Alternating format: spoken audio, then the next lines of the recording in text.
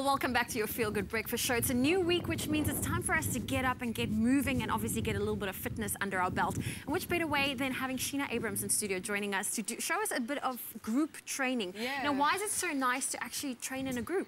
You know, it's a trend at the moment, I think, because people, it keeps people motivated, it keeps you highly energized. You don't want to let your friend down, so you go into the training session. You know, there's always music, and you just, there's just continuous movement through the, the training session, so that's why people really enjoy it. Okay, Yeah. so what are some of the group activities we'll be doing this So morning? normally if we have like a few mats, we would start off with our one, we're going to walk out. So we'll walk out on our mat, right? You can do a push-up, we'll walk back, and then we're gonna walk to the front, and then we'll have a high knee. And then from there, you'll run to the next mat, I run over.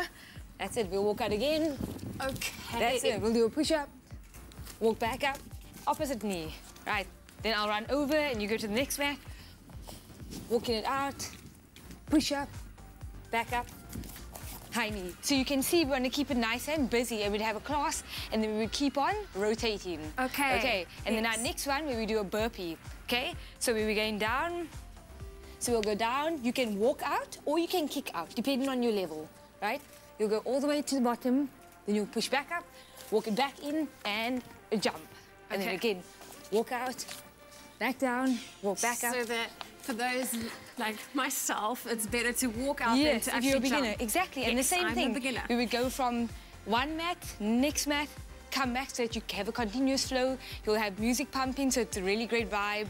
And makes such an ordinary workout so much more fun. It adds a different dynamic to Exactly. it by keep rotating. Yeah, exactly. Okay. And then the next one we'll do is we're going to um, work on our core. So we'll go down to the mat.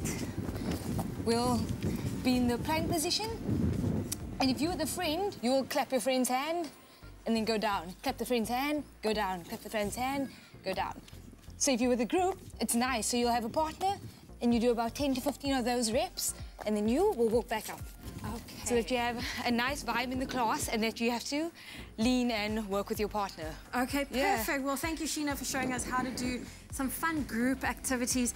Anything else that you would say we have to do in terms of being in a group? Yeah, and if you're in a group, you know, we can you could do wheelbarrow rows up and down. So I would hold your legs, we'd walk with our hands, we'd walk to the end, and I would take over. Walk all the way back, I would take over.